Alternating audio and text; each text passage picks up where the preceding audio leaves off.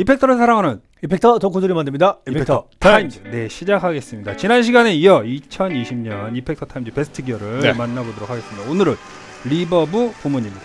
몇년 전까지 많은 연주자들의 pedalboard 위에는 reverb 페달보다 delay 페달이 더 많이 올려져 있었습니다. reverb가 가지고 있는 환상적인 공간감은 계속해서 진화해 왔고 음악scene은 계속해서 변화해 왔습니다. 음, 현재는 많은 연주자들이 delay보다 reverb 페달에. 어, 더 관심을 가지고 있습니다. 오늘 만나볼 reverb 페달들이 그 변화에 큰 몫을 해왔다고 저는 확신을 하고 있습니다. 오늘 만나볼 페달은 다음과 같습니다. 이븐타이드에서 제작이 되는 블랙홀 네. 은총씨 9.5점 저 9.5점 네. 크레이지 튜브 서킷에서 제작이 되는 스플래시 마크4 은총씨 10점 저 9.5점 네. OBNE에서 제작이 되는 프로세션 리버브 은총씨 10점 저 9.5점 네.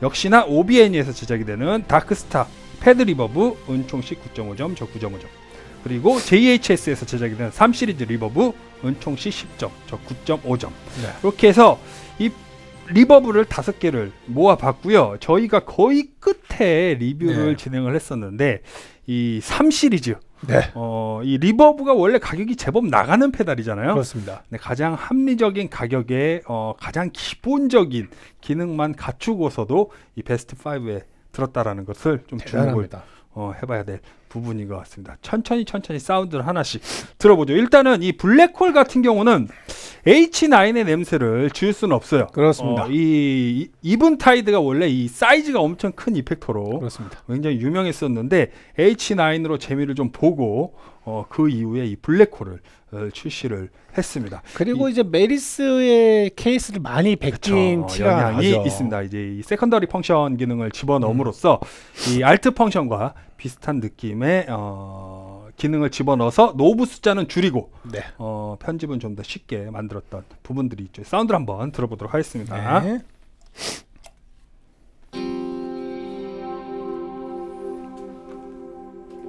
부스터 켰습니다.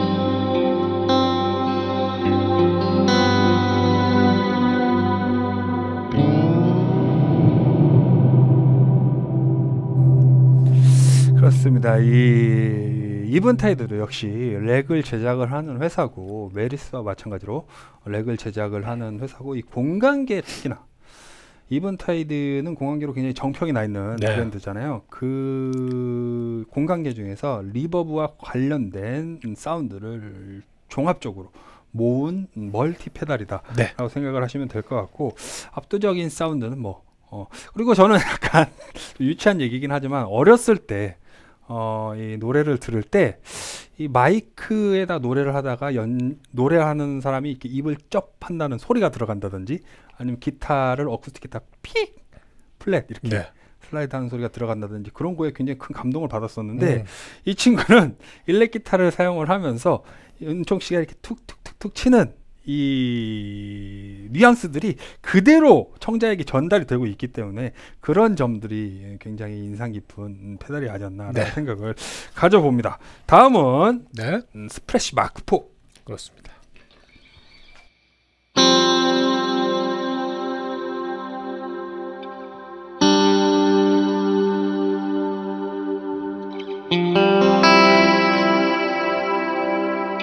음.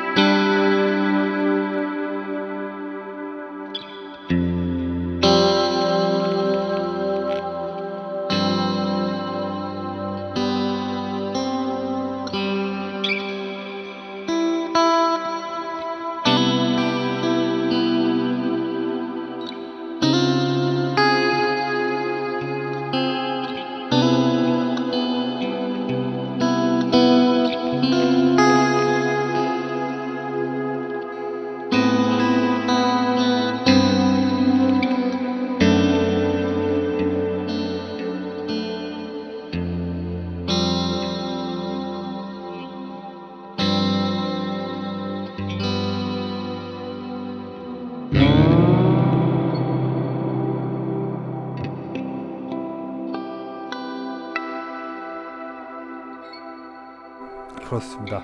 아까 저희가 다뤄봤던 블랙홀보다 조금 더 이제 밝은 느낌이 드는 물론 이제 뭐죠? 그죠?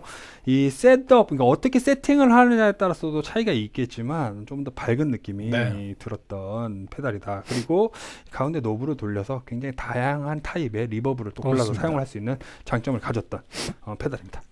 다음은 OBNE 네. 프로세션 리버브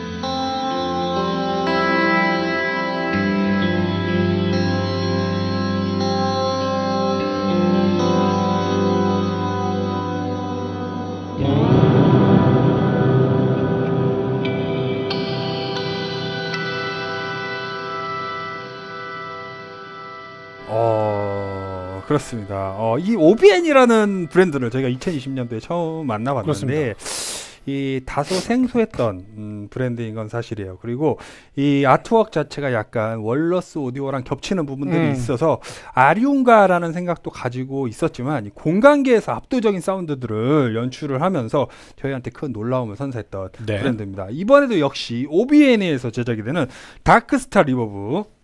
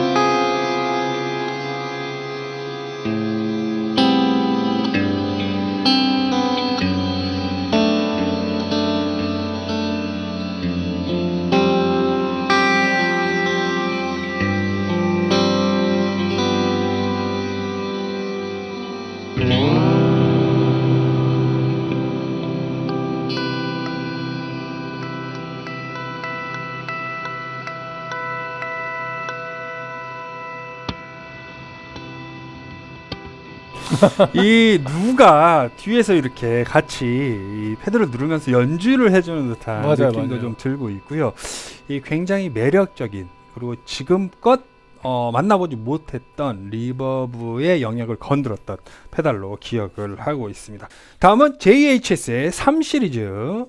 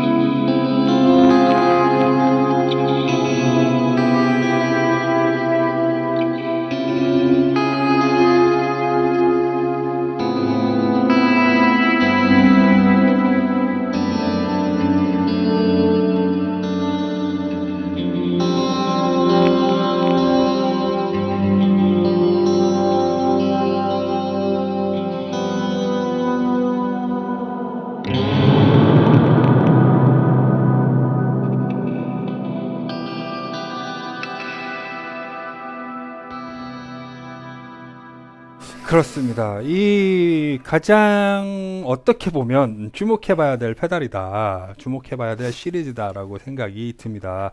올라와 있는 친구들 중에서 가장 합리적인 가격을 그렇습니다. 가지고 있고요. 어, 단순한 디자인을 가지고 있지만 리버브로서 자신의 역할을 충실하게 그렇습니다. 소화해내는 그런 친구였다라고 기억을 하고 있습니다. 이런 생각이 들어요. 이 꽤 오래된 얘기예요. 꽤 오래된 얘기고 리버브는 계속해서 발전을 해왔지만 저희가 처음 reverb를 만났을 때 기억은 분명히 한계가 있었어요. 음. 어, 요 정도까지만 해라고 이제 effector 회사들에서 음. 어, 물론 그때 이 음악 scene의 분위기 자체가 그렇긴 했지만 한계가 있었다면 요즘에 나오는 reverb 자체는 그런 한계를 아예 무시하고 어, 이 굉장히 깊고 굉장히 풍성하고 굉장히 몽환적인 사운드를 연출을 하고 있다. 단순히 room reverb, hall reverb, spring reverb의 한계를 넘어서 그렇습니다. space reverb라 그러잖아요. 음. shimmer라든지 이 정말 우주 공간을 유영한 듯한 느낌까지도 연출을 할 수 있고 이런 부분들이 계속해서 발전을 해왔기 때문에 최근 이 음악scene에서 이런 ambient 사운드들이 굉장히 주목을 받고 있는 게 아닌가라고 생각을 가져봅니다. 그 원래 이제 예전에는 다들 pedalboard 마지막 단이 delay가 그쵸. 보통이었고 음, 이제 reverb를 그냥 제가 있던 그 이제 제가 제 주변에 있던 연주자들 그 음. 프로 기타리스트들 봤을 때 이제 Wet이라는 음, 음, 웨 음. 웻 이라는 이제 reverb 그 되게 심플한 거였어요. 네. 노브 하나 달려가지고 그거를 이제 마지막 단에 음, 넣으면서 음, 음, reverb를 조금씩 쓰기 음, 음, 시작했어요. 음, 근데 음. 그 reverb도 과한 게 아니라 음, 되게 그냥 좀 음. 어느 정도 네. 적셔주는 느낌인데 요즘은 어떻게 보면은 그 시절 생각하면 정말 과하다면 과할 음. 그쵸. 수 있죠. 어. 근데 어쨌든 그만큼 아날로그 페달로 이런 space감, 공간감을 연 출할 수 있다는 것 자체가 어, 음악적 다양성이라던가 이렇게 장르적 다양성들을 어, 연주자를 통해서 많은 영감을 주고 그런 식으로 음악적 발전에도 참 많은 기여를 하지 않았을까 이런 생각을 해봅니다. 음, 맞습니다. 은총 씨한테 2020년 가장 큰 인상을 남긴 reverb 페달 하나 어, 선정을 해주시겠어요? 네, 저는 아무래도 음. 이 그림은 좀 귀하다, 어. 어, 다크스타가 좀 음. 특이하죠. 어, 소리가 그쵸. 굉장히 좀 특이합니다. 그러니까 뭐 다른 애들은 좀 겹쳐지는 부분도 좀 들리긴 음. 하는데 이 다크스타에서 이 그리고 이게 이름처럼 음. 좀 약간 그 뭐라 해야 될까요? 그막 음침한 분위기도 음, 그쵸, 실제로 그쵸, 있습니다. 어. 그래서 그 저는 사실 리버브를 생각을 할때 어 그냥 정말 아름다운 사운드만 생각을 하는데 이렇게 reverb가 음침할 음, 수도 음, 있구나라는 음. 거는 좀 다른 느낌인 음, 것 같아요. 그래서 어 어차피 본인의 페달 중에 보통 대부분은 여러분들이 생각하는 아름다운 reverb 사운드일 것이므로 음, 음.